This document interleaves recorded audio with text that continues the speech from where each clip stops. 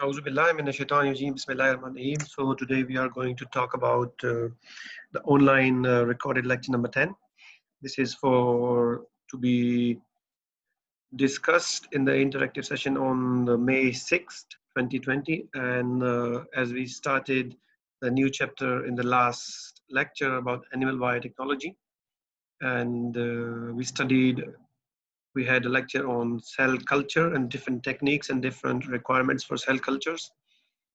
Mostly we emphasized on mammalian culture and uh, microbial cultures because in plant biotechnology chapter we already discussed about what are the basic requirements for plant cultures.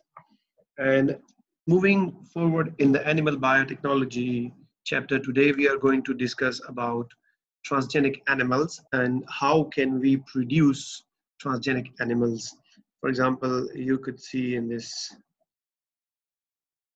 image with this mouse having glowing green eyes in which uh, a green fluorescent protein has been cloned into his eyes.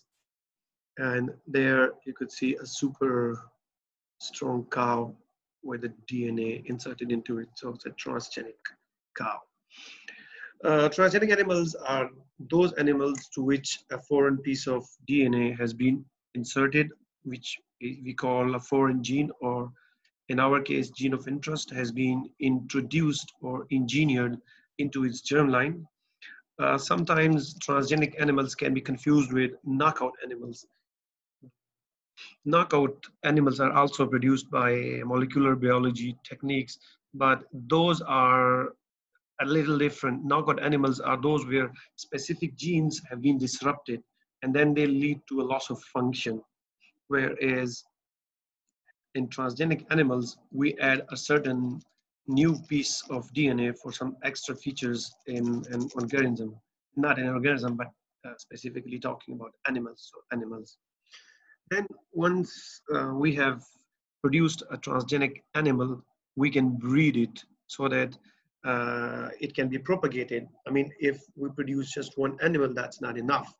The animal should be bred with other uh, partners so that they can give to offsprings and then those offsprings can produce more offspring so that the benefit or the beneficial gene insertion and integration through transgenics go on and carry on through from generation to generation and the traits that we have introduced into these animals pass on.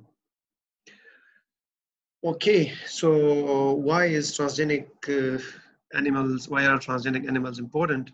They are used for basically to study the biological function of a number of specific genes, uh, to build and design and develop animal models for diseases, human diseases.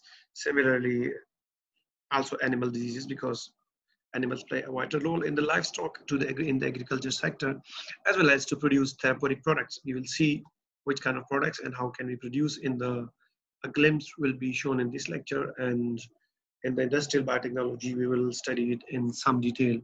And for therapeutic products and vaccines for biological and for biological screening. So uh, this is another aspect which we can use transgenic animals.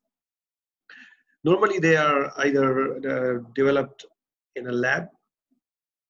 When we talk about lab, then we talk about small animals, mice, for example, zebrafish. and uh, for R&D, for research and development purposes, from huge institutes, they are really scientifically and academically independent, and or big commercial firms, companies, they produce it for products, but they always need uh, approval from appropriate competent authorities because you cannot do it without them. When we talk about eukaryotic uh, organisms,